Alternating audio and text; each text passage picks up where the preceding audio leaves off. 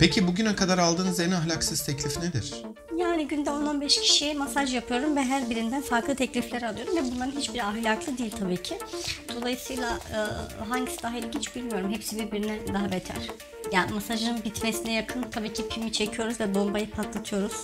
Daha önceki mesleğim dansözlüktü. Dansözlükten dikey geçiş yaptım ve masözlüğe başladım. Fiyatlar değişiyor tabii ki. Eğer mutlu sonlu bir paketse fiyatı farklı olur. Eğer mutlu sonsuz bir e, fiyatsa paketi farklı oluyor. Bu işin eğitimini aldığımız için kimin neresine dokunduğumuzda neresinin kalktığını, kimin neresine dokunduğunda neresinden keyif aldığını falan hepsini çok iyi biliyoruz ve işte yağlı masaj, kremli masaj, kahveli masaj, çamurlu masaj, sütlü masaj, e, sigaralı masaj falan.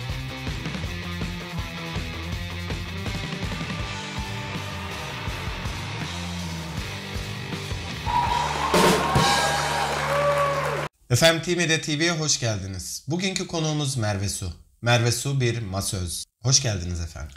Merhaba, hoş bulduk. Nasılsınız? Teşekkür ederim. Siz nasılsınız? Teşekkür ederim sağ olun. Bize kendinizden bahseder misiniz? Ben Merve So, 26 yaşındayım. İstanbul'da oturuyorum. Masözlük yapıyorum. Daha önceki mesleğim dansözlüktü. Dansözlükten dikey geçiş yaptım ve masözlüğe başladım. Öyle. Masöz olmaya nasıl karar verdiniz? Masalarda meze olduktan sonra buna karar verdim. Dansözlük yapıyordum önceden. Ee, masöz e, ilanlarına baktım. Bir arkadaşım masözlük yapıyordu.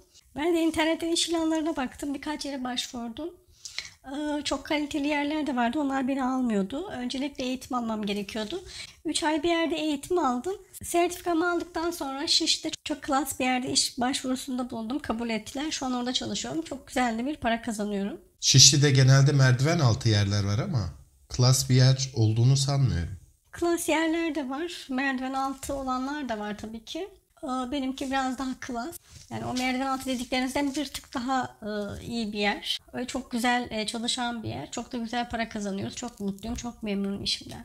Günde yaklaşık kaç kişiye masaj yapıyorsunuz?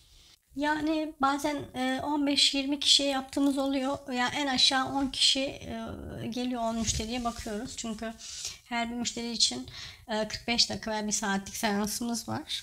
12 saat boyunca çalışıyorum. 8 saatten sonra mesaiye giriyor. Bazen e, yani kodaman müşteriler olduğu zamanlarda tabii ki gece de çalışıyoruz. Belli olmuyor. Peki masaj hizmetleriniz nelerdir? Masaj hizmetlerimiz e, çok geniş e, aslında çok e, çeşitli bir e, hizmet veriyoruz biz. İşte yağlı masaj, kremli masaj, kahveli masaj, çamurlu masaj, sütlü masaj, e, sigaralı masaj falan. Böyle yani bir, bir sürü çeşitlerimiz var. Sigaralı masaj derken? O bazı müşterimizin talepleri doğrultusunda olan bir şey. Masaj sonrası sigara e, molası veriyoruz. E, Bunu da açıklamayayım isterseniz.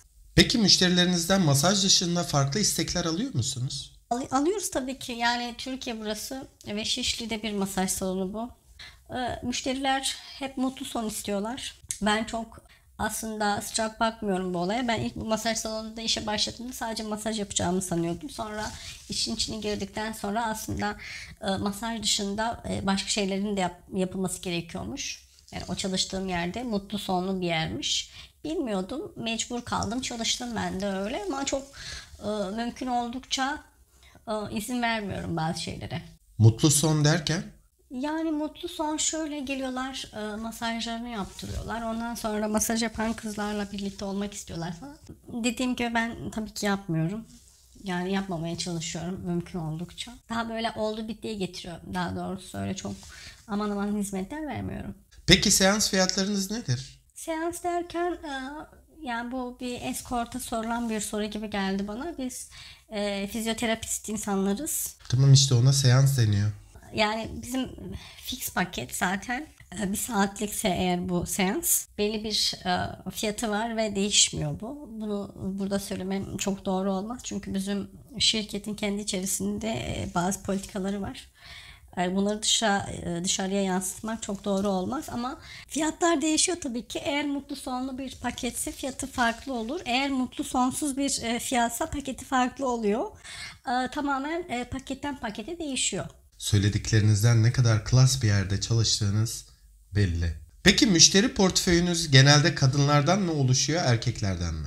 Kadın da var, erkek de var. Bizim e, masör arkadaşlarımız, erkek arkadaşlarımız da var. Onlar kadınlara yapıyor, biz erkeklere yapıyoruz. İşte atıyorum şu e, biraz önceki fiyat politikasından bahsettik. Şu detayı atlamıştım. E, eğer çok iri yarı biri ise fiyat ona göre de değişiyor. Çünkü masaj yap yap bitmiyor adam. 5 kilometrelik e, e, omuzları, sırtı, göbeği falan var mesela. Ya da boyu çok uzunsa veya kilosu çok fazlaysa o tabii ki mesela atıyorum bir 60 boylarında 40 kilo ağırlığında bir adamla işte atıyorum 1.90 120 kilo adamın fiyatı aynı olamaz çünkü ona e, harcadığımız eforu 3 tane normal yarım porsiyon insana harcayabiliyoruz. O yüzden ultra porsiyon olanlardan biraz daha fazla para alınıyor.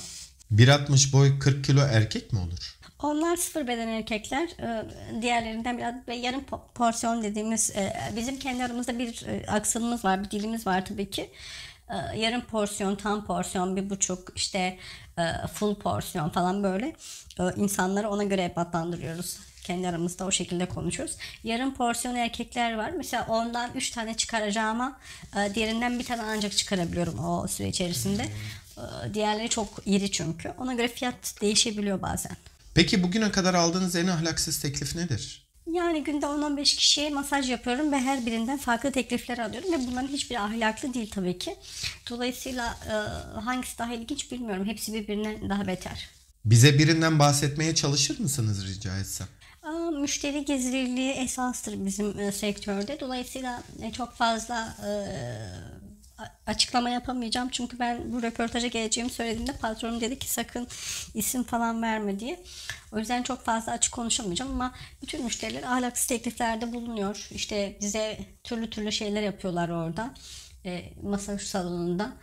Ben çok izin vermiyorum. Mümkün oldukça ben e, mutlu sonsuz istiyorum e, hizmetleri.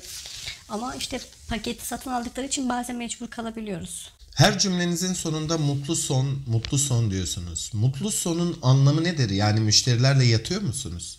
Müşterilerle yatmıyoruz. Çünkü e, o kadar uyuyacak bir zamanımız yok orada. Bir saatlik seansımız var zaten. Masaj yapınca zaten mutlu oluyorlar ve e, mutlu bir son e, istiyorlar açıkçası. Yani masajın bitmesine yakın tabii ki pimi çekiyoruz ve bombayı patlatıyoruz. O noktadan sonra onlar da mutlu bir şekilde gidiyor. Zaten bizim masaj salonunun e, esas e, hiz, verdiği hizmet bu. E, Birçok kişi e, yıllık paketler alıyor.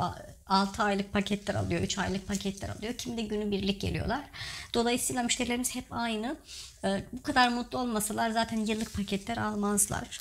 E, tabii ki müşteriler istediği masözü seçebiliyorlar. Orada Bizden daha çok iş yapan Taylandlı kızlar var mesela.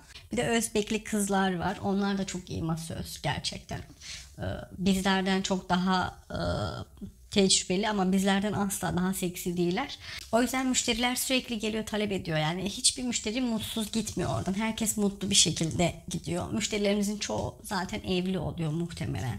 Çok nadirdir böyle bekar, abazalar falan ama genellikle evliler, orta yaş üzeri, 50 yaş üstü dayılar falan çok tercih ediyor. Peki müşterilerinizle sadece çalıştığınız yerde mi görüşüyorsunuz yoksa evlere servis yapıyor musunuz? Evlere servis tabii ki de yok. Dönerci miyiz ayo? Sonuçta orası e, bu hizmeti vermek için var. Müşteriler oraya geliyor ama mesela şirketin dışında yani çalıştığım şirketin dışında özel olarak çağrıldığım yerler var. E, boş zamanlarımda işte mesai saatinden sonra falan ya da izinli olduğum günlerde evleri de masaj yapmaya gidiyorum genelde. Yaptığınız meslekten ailenizin haberi var mı? Yani ailemin haberi var tabii ki. Çünkü ama şöyle bir masaj salonunda e, temizlikçi olarak çalıştığımı biliyorlar. Ya, iyi de maaş alınca güzel iş sakın bırakma diyor annem. Peki insanlara dokunmaktan tiksinmiyor musunuz? Ya temiz insanlar da var ama çoğunlukla bizi tercih eden e, tipler hep çok e, ter kokan, e, çok böyle buram buram vitli insanlar. E, tabii ki tiksinç. Bazıları hiç duş almıyor. Sanırsınız ki 3 aydır hiç banyo yapmamış, su altına girmemiş falan çok pisleş gibi kokuyorlar. İşte o e, vücutlara dokunmak tabii ki vıcık vıcık böyle yağlı yağlı. Ee, çok iğrenç. insanın kusası geliyor. Ee, sonra tabii ki o insanlarla bir, bir mutlu sonlu bir paketimiz olduğu için mecbur ağzımıza ağzımıza bir şekilde temas ediyor her tarafları. Ee, çok kötüler. Birçoğuna diyoruz ki hani e, duşa girin duştan sonra yapalım. Yok önce masaj yapın sonra duş yapacağım falan gibi böyle geri, gerizekalı gerizekalı şeyler söylüyorlar. Ee, çok iğrenç insanlar var evet. Kapıdan içeri girer girmez ter kokusundan burnumuzun direği kırılıyor. Peki bu mutlu sonu erkekler mi sizden talep ediyor yoksa siz bu işi bildiğiniz için siz mi istiyorsunuz? Ya birinin talep etmesine gerek yok zaten e, bu tipler genelde çok abaza tiplerdir. E, çok kadın düşkünü, amsalak insanlardır. E, dolayısıyla bir, bir taraflarına dokunduğumuzda zaten bir tarafları kalkmış oluyor. Bir şekilde gelişiyor. E, bazı öküzler yüzüstü bir yatıyorlar, masaj yapmaya başlıyoruz. Bir bakıyorsun üç tane ayağı var. Gerçekten çok vahşiler bunlar. Nasıl, e, nerede beslenmişler, hormonlu e, meyve sebze gibi. E, bildiğin üç ayakları var resmen. Ve biz o her üç ayağında masaj yapmaktan sorumlu olduğumuz için çok zor oluyor. Peki son olarak ne eklemek istersiniz? Ya masaj dünyanın en gerekli şeyi. İnsanları rahatlatıyor, insanları e, stresten arındırıyor. Çünkü bir de biz bu e, işin eğitimini aldığımız için kimin neresine dokunduğumuzda neresinin kalktığını, kimin neresine dokunduğunda neresinden keyif aldığını falan hepsini çok iyi biliyoruz ve e, bence profesyonel e, masaj yaptırmalı herkes.